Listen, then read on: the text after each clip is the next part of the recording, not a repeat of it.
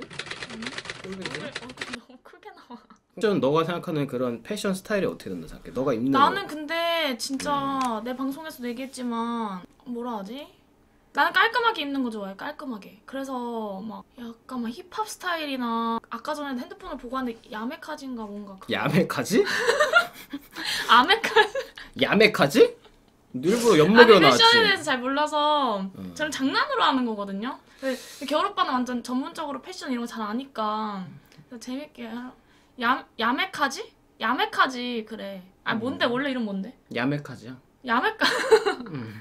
아뭐 아메카지인가? 맞어. 아메카지 이런 거 아까 보고 왔는데 음. 너무 제 스타일이 아니더라고요. 그래서 아마 그렇게 입고 오신 분들은 아마 저한테 욕 아마 엄청 많이 먹으실 거예요. 그러니까 내가 입는 옷 스타일은 싫다는 거네. 싫은 건 아니고 내 스타일이 아니야. 그냥 그게 그거잖아. 아이고, 음. 음. 아까 전에는 뭐 꼴도 보기 싫다며. 야메카지. 어, 꼴보기 싫어가지고. 근데 그것도 잘 입는 아메카지는 괜찮은데 너무 과하게 입는 거 있잖아. 막 빵모자 쓰고 이상한 베스트 입고 아 지린다.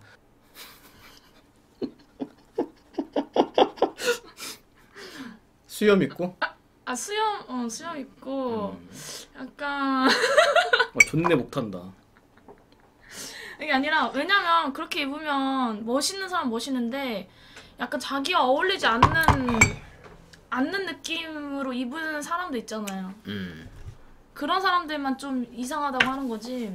오빠 잘 어울리니까 잘 어울리면은 상관없어요. 속이 후련했냐?